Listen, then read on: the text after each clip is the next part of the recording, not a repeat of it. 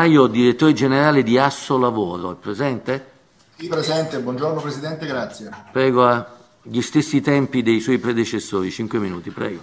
Esattamente, grazie. Ringrazio lei Presidente e le senatrici e i senatori per aver accolto l'invito di Asso Lavoro e essere audita nell'ambito dei lavori per la conversione del decreto legge in materia di Green Pass.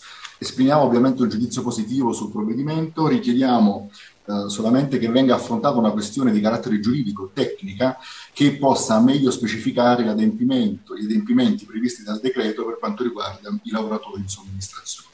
La questione nasce da una formulazione, diciamo, non felice contenuta eh, nel decreto legge quando fa riferimento ai cosiddetti contratti esterni, è una formula diciamo, non precisa dal punto di vista eh, giuridico, ehm, per i quali è previsto il, il doppio controllo, sia da, da, parte del datore di lavoro ospitante che da parte del datore di lavoro eh, ospitato da, eh, ospitato. Da questo punto di vista eh, la migliore dottrina si è espressa in questi giorni per quanto riguarda la somministrazione di lavoro, escludendo la somministrazione eh, dal novero di questi contratti. Questo per una serie di motivazioni di carattere giuridico che sono rinvenibili da sempre nell'ordinamento del nostro Paese e che connotano l'istituto della somministrazione di lavoro rendendolo eh, come dire, eh, particolare nell'attribuzione degli obblighi sia a carico del datore di lavoro formale, quindi l'agenzia per il lavoro, che il datore di lavoro sostanziale, che è l'utilizzatore eh, presso il quale il lavoratore in somministrazione viene eh, inviato.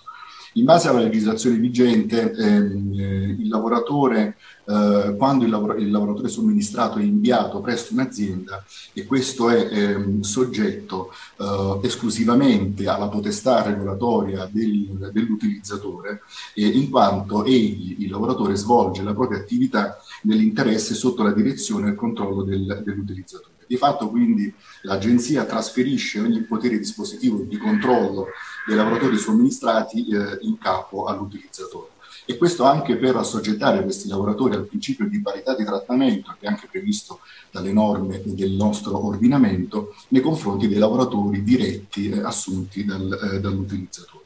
Eh, la, la legge dispone anche, per esempio, che il potere disciplinare venga esercitato esclusivamente su eh, eh, indicazione eh, del, eh, dell'utilizzatore, mentre invece l'Agenzia per il lavoro deve meramente adempiere dal punto di vista formale. Da ultimo, anche tutto l'impianto delle norme in materia di salute e sicurezza sul lavoro, che sono state anche ricordate facendo riferimento all'articolo 2087 del Codice Civile, attribuiscono tutti gli obblighi prevenzionali e di tutela sui luoghi di lavoro al, uh, al, all'utilizzatore stesso.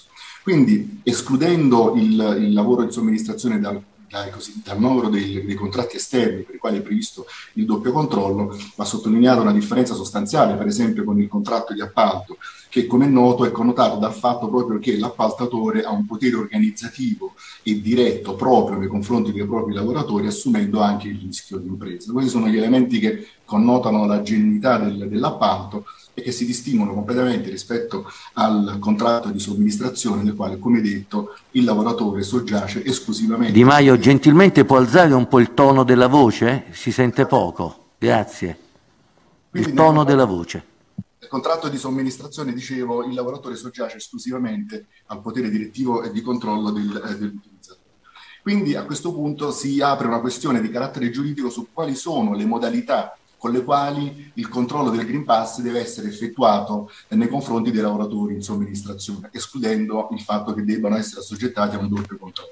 La legge, il decreto legge, prevede che il, lavoro, il, controllo avvenga al momento dell'accesso nei luoghi di lavoro, e i luoghi di lavoro sono necessariamente quelli dell'utilizzatore presso il quale il lavoratore viene, viene inviato, e al momento in cui la prestazione lavorativa eh, inizia. Chiaramente questo controllo non può essere effettuato presso la filiale ehm, dell'Agenzia per il Lavoro eh, che assume il lavoratore, anche perché l'assunzione potrebbe avvenire temporalmente molto prima dell'inizio della, eh, della prestazione. E quindi anche in accordo con eh, la circolare di Confindustria alla quale noi aderiamo, riteniamo che fermo restando gli adempimenti di natura civilistica nel corretto adempimento dell'obbligazione dell'agenzia nei confronti dell'utilizzatore, il controllo del Green Pass debba avvenire necessariamente da parte dell'utilizzatore e che l'agenzia sia obbligata a fornire al lavoratore una informativa in merito alla necessità di munirsi di Green Pass nel momento in cui questo lavoratore va a svolgere la propria prestazione eh, di lavoro. È un elemento di chiarezza, eh, anche se, ripeto, la dottrina in questi giorni eh, si è espressa in maniera unanime nel indicare questa modalità di ripartizione degli obblighi, ma riteniamo che un intervento emendativo eh, preciso possa, come dire, fare anche normativamente e definitivamente eh, chiarezza su questo punto. La certezza mh, è un elemento fondamentale a garanzia proprio della, della tutela e della salute e della sicurezza dei nostri, eh, dei nostri lavoratori. A tal fine noi vi trasmetteremo eh, nei prossimi minuti una memoria nel quale argomenteremo questi aspetti che ho provato ad illustrare velocemente per stare all'interno dei cinque minuti e proporremo anche un'ipotesi emendativa molto semplice che specifica eh, quali sono le modalità che devono essere utilizzate per il controllo del Green Pass dei lavoratori somministrati in coerenza con le cose che ho detto e soprattutto le norme che da sempre eh, disciplinano il nostro settore. Eh, spero di essere stato all'interno dei cinque minuti. Ringrazio ancora sia il Presidente che la Commissione per aver ascoltato diciamo, la nostra associazione su un tema che per noi è particolarmente importante perché è finalizzato appunto a garantire la tutela eh, dei nostri lavoratori.